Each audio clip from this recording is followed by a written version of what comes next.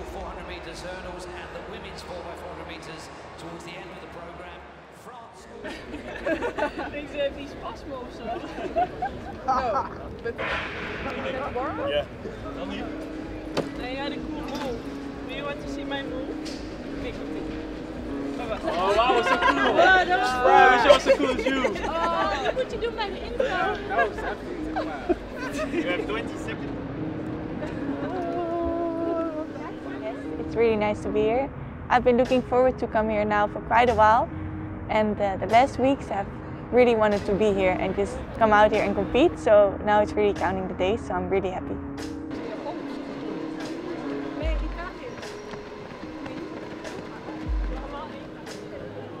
My first World Champs was Doha in 2019 and I was 19 years old. It was my first big tournament and now I'm going to my third World Champs already and yeah with so much more experience and so much faster times already and it's different but still um, I always feel a bit like a small kid when I get into the stadium when I see everything for the first time and I think I also like this feeling and I like to keep it so it's different but at the end you're always here to do the same let's perform the best you can. Yes. It's beautiful.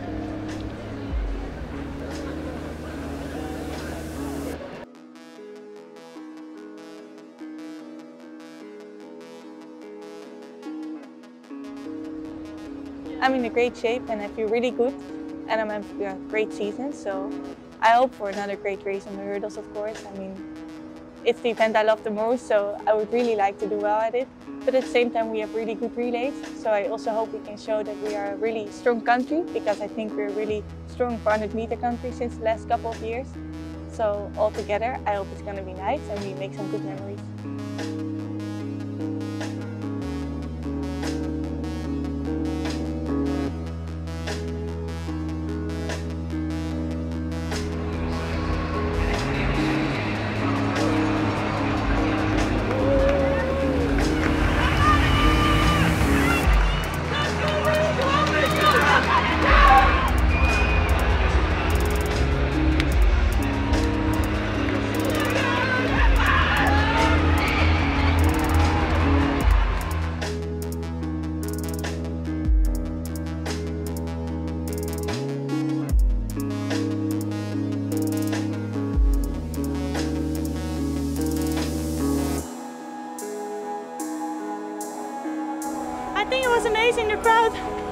The heat, you could hear them so loud. So I think the final is going to be great with a great atmosphere and some sun, hopefully.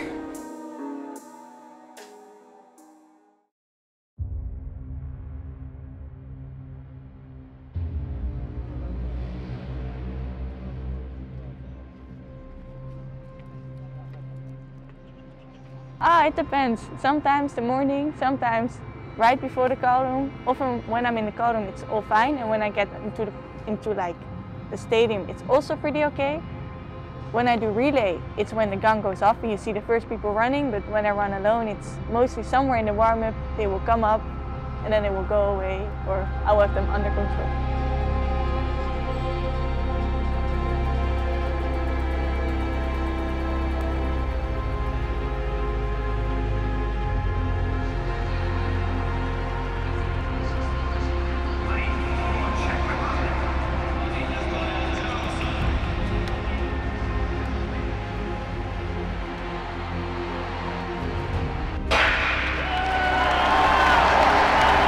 Is going to come under pressure here from Holmes. She's got that 400 hurdle strength, but Holmes is coming. She's closing. What a race! What a finish! Oh my goodness me, United States! Femke Bol dropped that baton before she got to the finish line. That baton went over the finish line. She could not get it, bring it back, and cross the finish line. I'm not sure that the Netherlands were able to finish that race. And check this out world record for gold, national record for silver, and national record for bronze.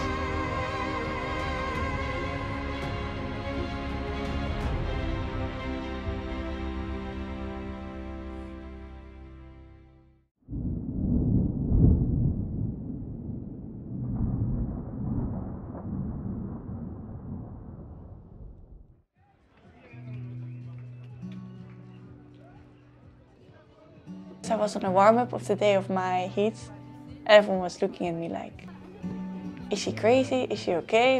What's going on? And then I was just, I'm here and I don't need everyone to look at me like with pity because I'm here, I'm strong and I'm ready. So no, and I wanted to be positive because it was tough, but I love the sport and I love to be at the tournament. So I wanted to show everyone that it can be tough, but come back with a smile and give it everything you got. This is all you can do. Course, I hope that getting better as an athlete will at the end make me on top of the podium, but I think it's really important to focus on yourself, especially since my event is so competitive and I can always look at others and always see people who are better or things that are better, but I think the best is just to focus on yourself and do what you can to improve. And if you do this, I think you become an happy athlete because as long as I'm somewhere and I know I've done all I could to become the best athlete, I can only be happy and then I just have to accept that someone is faster or that I'm the fastest.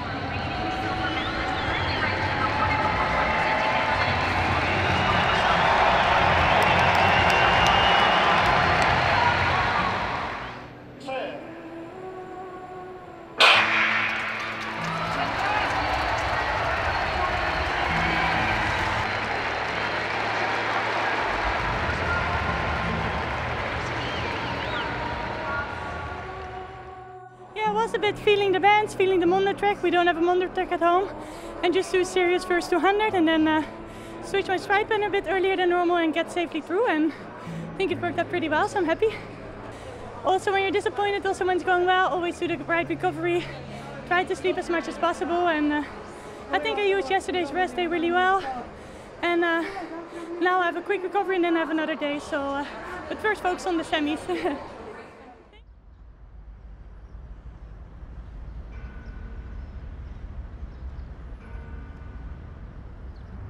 mean, of course, it's different if you fight for a medal instead of getting to the semi-final. It's different, but on the other hand, what I love about track is that you always get to be a better athlete than you were the race before, or the day before, and the year before, and this is something I really love.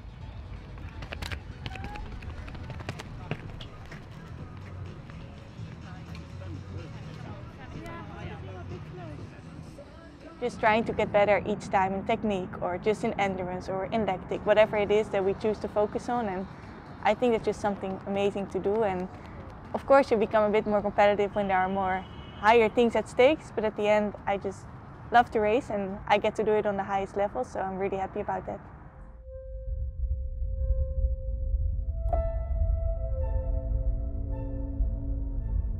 I just love track and I think the competitiveness is in me. I mean, when I was young and I couldn't win a game, I also wasn't like the happiest person, but I could, I could deal with it. But I just really like to be the best at something.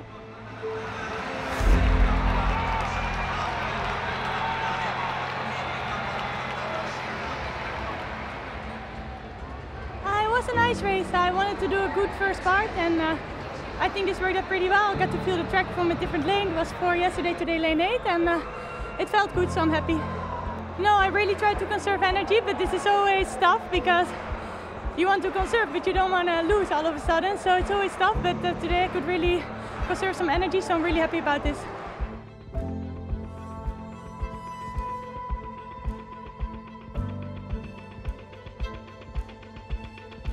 I think for me it's just I love the sport and I love to train, I love to go into lactic, I love just to be out there with my friends, with my teammates and have a good time and I think this makes it so much easier. Also on days you maybe have a bit less motivation to have these people around you and no, I love racing but I also love training so together I think it's the best.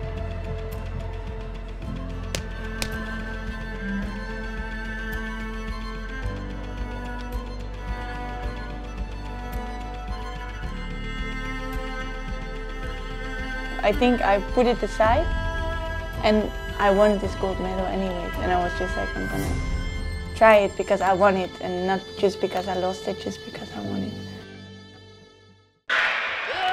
It's a big chance for Bol. There are so many Dutch in the stadium. They're on their feet. Cockrell on the outside. Shamier Little's trying to close. But Bol is away and clear here. She fell on the first night. But like the great champion she is, she has risen to conquer all.